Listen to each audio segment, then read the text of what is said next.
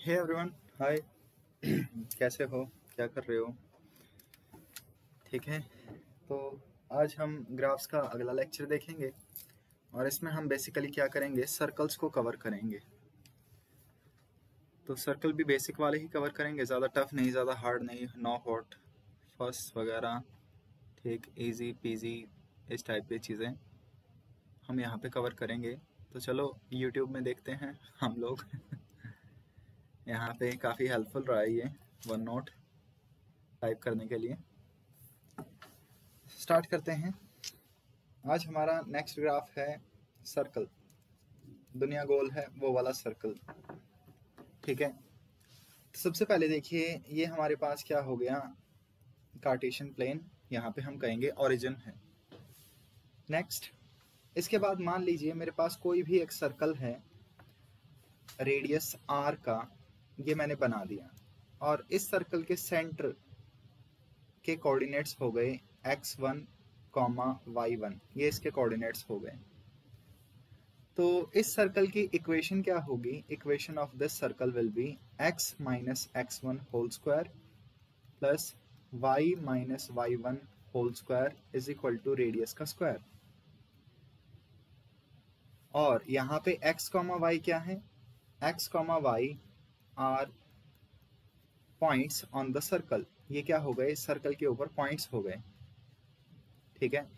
तो कोई भी सर्कल के ऊपर अगर आप पॉइंट ले लें और इस इक्वेशन में पुट कर दें तो वो इस इक्वेशन को सेटिस्फाई करेगा। नेक्स्ट अगर मैं x1 और y1 इनको ज़ीरो पुट कर दूँ ज़ीरो कॉमा ज़ीरो तो आपको शायद आइडिया लग ही गया होगा कि मैं कौन से पॉइंट पे पहुँच जाऊँगा। तो जल्दी से देखिए, अगर मैं x1 y1 दोनों को ज़ीरो ज़ीरो पुट कर दूँ then I will reach at the centre तो यहाँ पे मैं जो सेंटर है, उस पर पहुँच जाऊँगा और ये सेंटर अब ओरिजिन हो जाएगा। तो ऊपर वाली इक्वेशन काफ़ी सिंपल बन जाएगी and the equation will be x square plus y square is equal to r square तो कोई भी ऐसा सर्कल हो, जो ओरिजिन से पास करता हो, ठीक है जी सॉरी सॉरी, कोई भी ऐसा सर्कल हो जिसका सेंटर ओरिजिन पे हो तो उसकी इक्वेशन होगी x square plus y square is equal to r square again x y circle के ऊपर पॉइंट्स हैं। एक चीज़ और देखिए, यहाँ पे ये तो हो गई इक्वेशन ऑफ़ सर्कल इसे दूसरी सेंसेस में भी लिखा जा सकता है, और वेज में भी लिखा जा सकता है। कैसे कैसे? सबसे पहले ये हमारे पास कार्टेशियन प्लेन हुआ, फिर हमने क्या किया? एक सर्कल को ले लिया। तो आप देख सकते हैं, काफ़ी कुपोषित सा सर्कल है, कोई बात नहीं। और यहाँ पे हो गया मेरे पास ये डिस्टेंस आर नेक्स्ट आपको पता ही होगा, अगर मैं यहाँ पे एक ट्राइंगल बना दूँ, एक लेट जैसे कोई भी ट्राइंगल ले लें तो ट्राइंगल की बेस एक्स होगी और वर्टिकल वाई होगा। अगेन अगर मैं देखूँ, ये जो रेडियस है, ये कितना एंगल बना रहा है? थिटा एंगल बना रहा है। तो आप क्या कर लीजिए आर के कंपोनेंट ले लीजिए। आर का एक कंपोनेंट हो जाएगा आर कॉस थीटा एक्स के अलोंग और एक कंपोनेंट हो जाएगा आर साइन थीटा वाई के अलोंग। तो अगर आपको कभी भी x is equal to r cos theta और y is equal to r sine theta कुछ ऐसे दे रखा है तो ये भी सर्कल की इक्वेशन को रिप्रेजेंट करता है। कैसे? दोनों इक्वेशन को स्क्वायर कर दो और ऐड कर दो। तो जब आप स्क्वायर करेंगे तो लेफ़्ट साइड में x square plus y square बनेगा, राइट साइड में r square cos square plus sine square बनेगा। तो आप अगेन देख सकते हैं, आपकी वही वाली इक्वेशन आ जाएगी x square plus y square is equal to r square तो ऊपर वाला ये जो फॉर्मेट मैंने लिखा है, ये फॉर्मेट भी किसको रिप्रेजेंट करता है? सर्कल की इक्वेशन को ही रिप्रेजेंट करता है। इसे दूसरी टर्म्स में भी आप बोल सकते हैं। नेक्स्ट आगे जब आप वेक्टर पढ़ेंगे तो वेक्टर्स में आपको एक चीज़ बताई जाएगी और वो होगा r and it will be called position vector position vector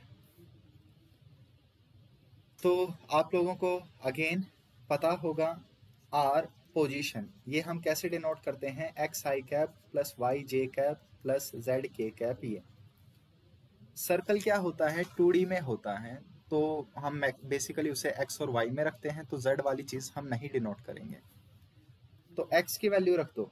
x की वैल्यू कितनी है? R cos थीटा y की वैल्यू कितनी है? R साइन थीटा तो आप देख सकते हैं, जब भी आपके पास r cos थीटा और साइन थीटा ऐसी चीज़ें आ जाएँ, जैसे कि मैंने यहाँ बनाया है, इस टाइप का कुछ आ जाए तो अगेन ये रिप्रेजेंट क्या कर रहा है? इक्वेशन ऑफ़ सर्कल को ही। सॉरी बंद होगा।